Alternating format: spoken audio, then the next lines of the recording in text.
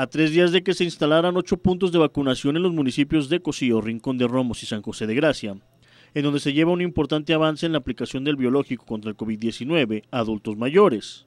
Al menos así lo manifestó el gobernador de Aguascalientes, Martín Orozco Sandoval.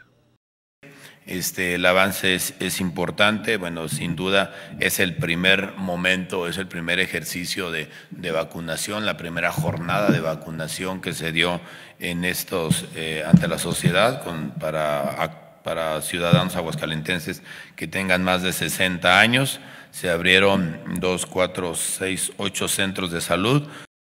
El mandatario estatal pidió a la población de los demás municipios del estado que tengan paciencia en la espera de la vacuna, invitándolos a no acudir a los puntos en donde actualmente se aplica el biológico, pues esto puede provocar un descontrol al momento de aplicar la segunda dosis. Asimismo, anunció la creación de un software especial de preregistro local para la aplicación de la vacuna pero no se me muevan, llegará a sus, a sus municipios, insisto, para que no haya un... Luego, luego va a haber más desorden porque al final no olviden que es una dosis, entonces para la segunda dosis nos podemos meter en muchos problemas de logística y de orden, entonces mejor aguantémonos un poco y tal parece que esto ya va tomando forma.